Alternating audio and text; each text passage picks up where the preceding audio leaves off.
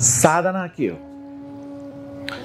अब साधना भनेको चाहिँ तब हामी सबैको जीवनमा नितान्त आवश्यकता भएको एउटा एउटा शिक्षा हो यो एउटा ज्ञान हो।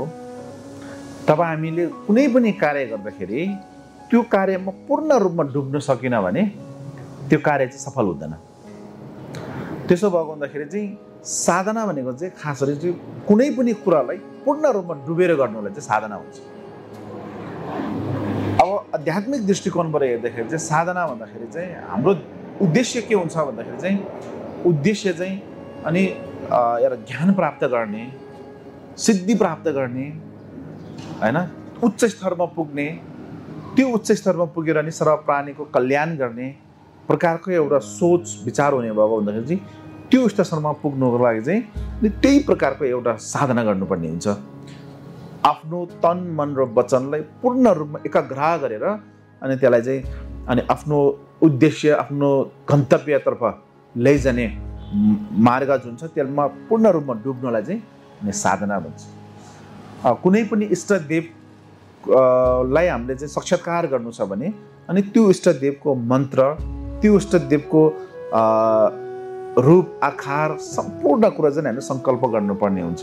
अनि आफ्नो चित्तमा चाहिँ त्यो साधना अथवा त्यो मन्त्र हामीले चाहिँ पूर्ण रूपमा जप गर्नाले चाहिँ त्यो मन्त्र जप गर्नु एउटा के भन्छ एउटा मनलाई स्थिर राख्ने एउटा माध्यम भयो भने त्यो मन्त्रमा चाहिँ अनि चार प्रकारको एउटा त्यो के भन्छ ज्ञानहरू चाहिँ त्यो मन्त्रमा समेटिएको हुन्छ। जस्तै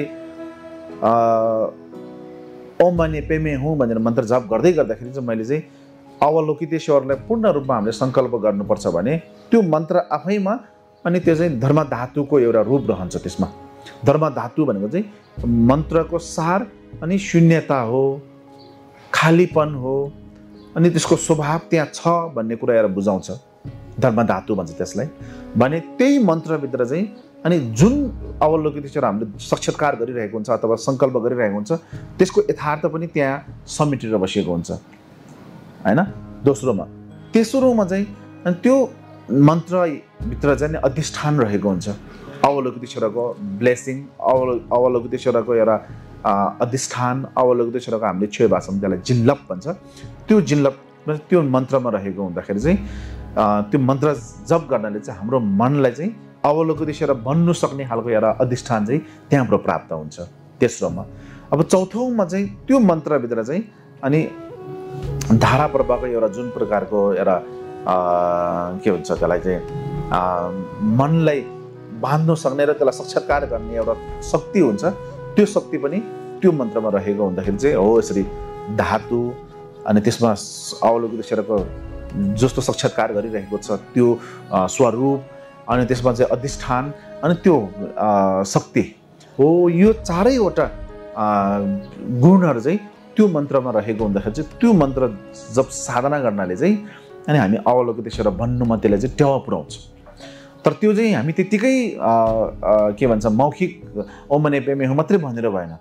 त्यो चाहिँ पूर्ण रूपमा त्यो सङ्कल्प गर्नेदेखि लिएर मनलाई एकाग्रह गरेर गर्ने के भन्छ गर्नेदेखि लिएर आफ्नो उद्देश्यलाई चाहिँ आफ्नो अगाडि राखेर मन्त्र जाप गऱ्यो भने त्यसलाई चाहिँ हामी अनि साधना भन्छ। त्यो यो एउटा उदाहरण मात्रै रह्यो संसारमा कुनै पनि प्रकारको काम गर्दाखेरि चाहिँ काम गर्ने त्यो मार्ग या त्यो उपाय पूर्ण रूपमा आफूले अप्नाउनु त्यो मार्गमा पूर्ण रूपमा डुबेर लाग्नु र त्यस त्यो मार्गबाट हिँडेर अन्तमा हामी कुन ठाउँमा गन्तव्यमा पुग्छौँ भनेर त्यसको बारेमा पनि हाम्रो स्पष्ट हुनु त्यसरी चाहिँ हामी लाग्यौँ भने कुनै पनि कुरा चाहिँ हामी गर्छ गऱ्यौँ भने त्यहाँ चाहिँ हामी सक्ष के भन्छ सक्सेस या हामी सफल हुने रहेछ। त्यसले गर्दाखेरि चाहिँ साधना भनेको चाहिँ यो धार्मिक कुरा मात्रै नरहेर कुनै पनि काम गर्दाखेरि चाहिँ एकाग्र भएर पूर्ण त्यो त्यो काममा डुबेर अनि आफ्नो गन्तव्यसम्म पुग्ने